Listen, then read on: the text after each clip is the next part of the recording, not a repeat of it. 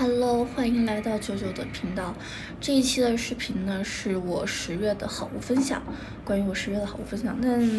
也是时隔五个月出的第二期好物分享。因为我，但也不算是十月吧，应该是六七八九十五个月的好物分享。因为我平时不是一个喜欢尝试一些新鲜东西的人，然后用的东西也比较长情，不太爱更换，所以，嗯。花五个月攒了一些我觉得比较好用的东西分享给你们吧。里面里面像像美妆部分的比较少，一般都是一些生活类用品，因为我美妆 确实很少更换。我今天今天拍摄角度比较奇怪，因为我忘记带自拍杆了，嗯，将就一下吧。然后找了一个找了一个光线还可以的地方。就是我会拍的比较别扭一点，然后你们可能看的也比较别扭一点。嗯，旁边是阳台，楼下有一个，楼下不远处有一个建筑工地，所以你们可能会听到那种哐哐哐的施工声，我这边也听得到。我们一起将就一下。今天要推荐的是完美日记这个大小熊猫眼影盘，大熊猫和小熊猫，没收钱，没收钱，我真的没收钱。然后。然后，因为我最近这一个月都是用的这两个眼影盘，所以的话就想给你们推荐一下。这这个大熊猫里面是这种青色的，这个是比较适合那种妆重一点、妆感重一点，然后比较稍微暗黑系一点，特别是这个黑色。这个黑色我有时候会画拿来画眼影，然后然后这个是打底色。他们会加起来会营造一种就是那种淡淡的烟熏的感觉，然后重点说这个小熊猫小熊猫的盘，小熊猫是一个是一个我真的最近这一个月都在频繁的用这一个盘，就基本每天的眼妆都是这个。它的主主色调，它整体整体的色系是那种棕红，就差不多我撸个妆类似于枫叶妆吧，就很秋天的感觉。我一般用的比较多的是这个颜色打底，这个颜色打底，然后这个颜色就加深眼尾，这两个这两个加起来提亮眼中部分，这两个加起来是提亮眼中部分，然后然后这个颜色我会用那种刷子那种火苗状的刷子，轻轻的刷一下这个卧蚕部分给它提亮，然后呢这一个。这一个加上刚刚那个小熊猫，呃呸，加上刚刚那个大熊猫的黑色黑色那个一起画眼线，又不是很喜欢，不是很喜欢画那种很长的眼线，所以的话，我的眼线胶笔一般是用来画那种内眼线，比较比较心机的内眼线，然后延长部分，延长部分就是用的这两个，这个这个这个色跟。这个色就会有一种很自然的棕黑的眼线，而且而且又是粉质的，就不会很明显很突兀，不会像那种棕色黑色眼线胶笔一样很突兀，就别人很明显看到你的眼线，它是那种近乎隐形的，还可以加深一下，还可以延长那个双眼皮，对，延长双眼皮。我自从发现可以延长双眼皮以后，我就。基本每次化妆都会稍微延长一下。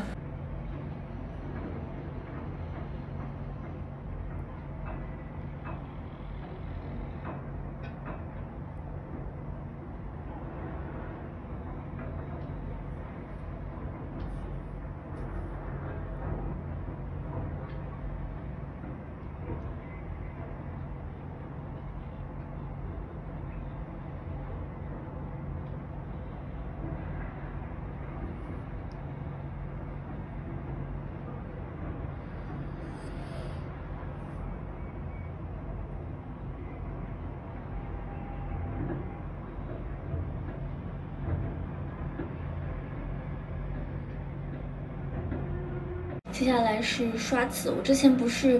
嗯就跟你们说过，我用的刷子不太好，不是很喜欢，然后呢一直想换刷子，也没有给你们推荐过，然后这次就说一下刷子吧。然后今天给你们安利一下国货品牌叫 Face 加分的化妆刷，这个化妆刷是我觉得还不错的一个啦。就了解化妆刷的应该知道，好刷的都是沧州产的。沧州是差不多世界上，世界算是世界上一个比较比较厉害的一个产刷子的地方。然后他家的刷子就是沧州的刷子。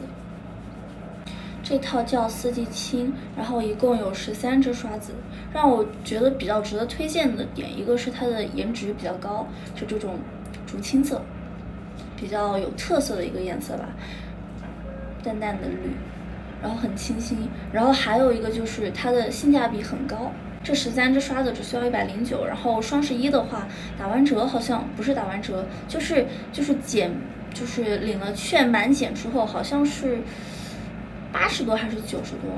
没没怎么注意做功课，你们可以自己去看一下。因为有十三支，所以的话有这一套刷子的话，搞定一个不论复杂还是简单的妆面都是没有问题的。然后我觉得特别值得夸的是它有它有粉底刷，一般套刷都没有粉底刷，但是它有粉底刷。再说刷毛，刷毛是速干纳米纤维，简而言之就是刷毛很软，然后洗完干的很快，就差不多这个意思。我现在甩的这个是散粉刷，你们可以看到它那个刷毛真的很软，然后它很柔软，不会扎脸，抓粉力也不错。这个散粉刷刷在脸上真的很软很舒服，然后它是最好是这种轻拍啦。我我我推荐你们以后上散粉的话，就如果不是脸上瑕疵特别多的那种，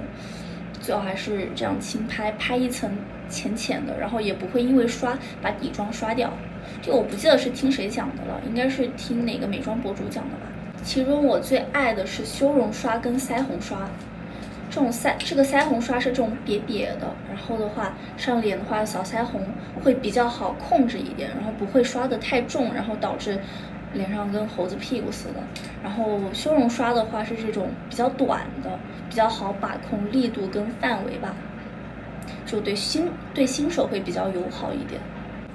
他家送的收纳袋也很好看，是这种绿色，丝带是墨绿的，很清新。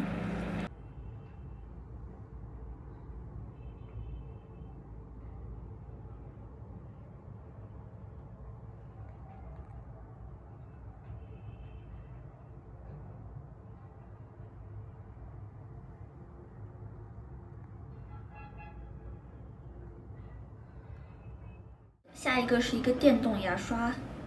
这个在经历了之前那个一周呢，一周得充个一两次电，而且还特别硬的罗曼电动牙刷以后，对吧起指名道姓的吐槽了。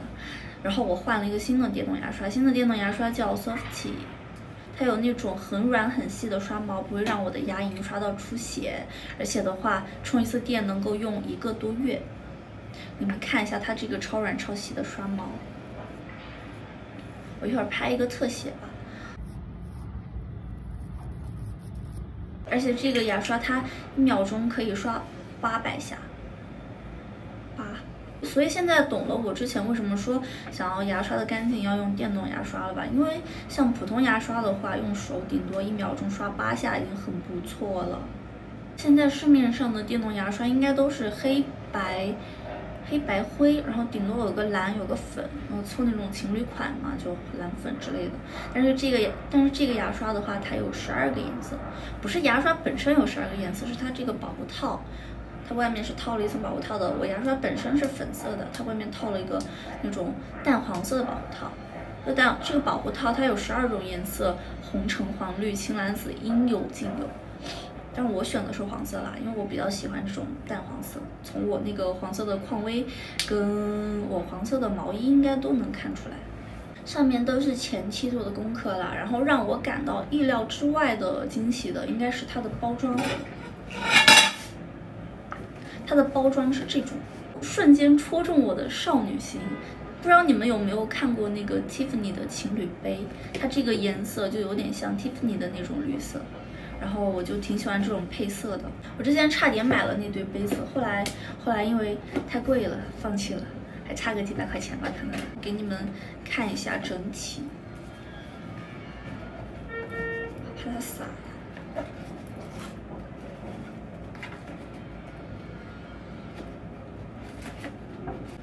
这个是它的赠品，里面是这种小铃铛，还有一个小兔子，我觉得蛮可爱的。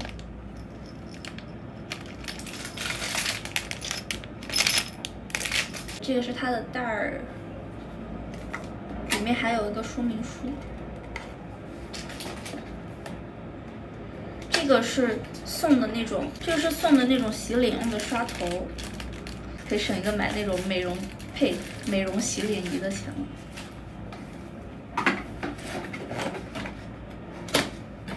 这个是充电的，充电器，它有那种专用的充电器，是这种带座儿的，插在上面充电。然后加上这个电动牙刷，以上就是它的全部的东西。然后我，然后这个是可以刻字的，我在上面刻了一个九九，然后图案是摩羯座，代表这是我的电动牙刷，不知道你们看不看得清？我在尽力给你们拍了，它隔着保护套的，这个保护套黄色真的蛮好看的，细节是一颗心。刚刚放了我今天的眼妆，所以可能有人会问我用的那个。睫毛膏是什么？我我最近一个月都没有用睫毛膏，我都是用的这个。不不说是最近一个月吧，最近两三个月都没有用过睫毛膏了。我用的都是这个爱杜莎的睫毛打底，因为我很不喜欢，就是那种，在这里我一定要提名一下那个优佩佩那个 Kiss Me 的睫毛膏，真的好难用，真的好难用，我要吐槽死它，它太难用了，每次一刷必定变成苍蝇脚。我觉得以我化妆的这个。这个这个时间来讲，我应该刷睫毛技术不至于那么差，但它就是每次都能给我刷成苍蝇脚，太垃圾了。然后这个爱杜莎的睫毛打底，它就一定不会刷成苍蝇脚，就每次每次我的睫毛都是下面很密，它的根部是很密很黑的，然后尾部就会很纤长很纤细，就很自然的那种睫毛，就像是指甲过睫毛夹。这个是我之前。六月份也说过一次的，我我用来做唇膜的木瓜膏，算是一个平价平价唇膜吧。然后我不知道它它的具体作用是不是用来做唇膜的，但是呢，我之前不知道是看了谁说的，就是用这个木瓜膏确实很有效。它你晚上睡前涂厚涂一层，然后呢，然后不要管它，第二天睡起来。然后用纸巾一擦，洗脸的时候用用那个热毛巾搓一搓，就那种死皮之类的全部会掉。然后像我这种特别爱咬死皮的，一般唇上都是坑坑洼洼，但是我只要用过两晚这个，我的唇部就会恢复那种很饱满的形状。夸，快去买，只要二三十块钱一支吧。六个，第六个是名创优品的修眉刀。就它这么一盒，里面本来是有三支的，然后有一支已经被我拿出去了，里面好像是蓝色还是绿色的一支吧，然后三支是十块钱，夸，很好用，主要是便宜，主要是便宜。第七个是这个美妆蛋，然后我当时是买了一盒那个两支装的，这个美妆蛋。超级好用，这是我人生中第一支美妆蛋，但是真的很好用，很好用。我我不知道怎么念它的名字，然后我一会儿会到时候会打在字幕上。然后就是它有只有一个缺点，就是价格不便宜，over。第八个，第八个是芭比布朗的粉饼，它的名字应该是蜜粉饼吧。这个是它自带的粉扑，然后这个是粉饼，我真的。太爱这个了，它这个粉质超级细，我第一次用的时候瞬间惊艳了。虽然价格不便宜，但是，但是我觉得很不错，真的很不错。它不是那种平价的粉饼啦，但是，但是，但是它是确实性价比超级高，对得起它的价格的。但是双十一好像它他家在搞活动吧，你们可以去看一下，应该是有折扣的，而且还是比较大的折扣。芭比布朗。听说虫草，听说他家虫草粉底液也也很养肤，等我什么时候有钱了，我可能会尝试一下。然后还有一个最近比较想尝试的是美宝莲的那个 Fit Me，就我不知道是不是念 Fit Me 哈，嗯，听说那个也是海淘好物粉质超细的那一种，而且只要九十九块钱，我到时候应该会看一下，看双十一会不会入手，应该会入手。第九个也是最后一个了，最后一个是比较奇葩的一个，你们一定猜不到是什么东西。云南白药喷雾，因为我因为我经常关节痛什么的，然后这个就是我的救命的东西。我上次上次就脚踝又关节疼嘛，很痛很痛，痛到我想捶墙的那种。然后我把整个脚踝喷了一圈，